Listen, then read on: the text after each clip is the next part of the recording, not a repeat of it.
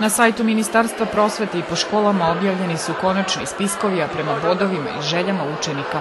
Upis u srednje škole je počeo danas, a u Južnobačkom upravnom okrugu ima dovoljan broj mesta za upis svih učenika.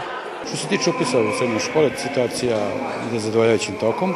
Ove godine je test možda bio za nijanse malo lakši, pa su bodovi u apsolutnom relativnom iznosu malo veći nego prošle godine, što znači da su i pragovi nešto iznad prošlogodišnjih, ali na osnovu da, današnjih informacija danas je upis, mislim da će ostati e, relativno mali broj učenika koji su loše popunili želje, pa će morati da to rade ponovo i da se upišu 9. jula. Upis u srednje škole traje još sutra. Učenici koji su ostali nerespoređeni imali su priliku da danas predaju novu listu želja za profile i škole u kojima je ostalo mesta. A raspored po školama će biti objavljen 9. jula kada će biti i upis.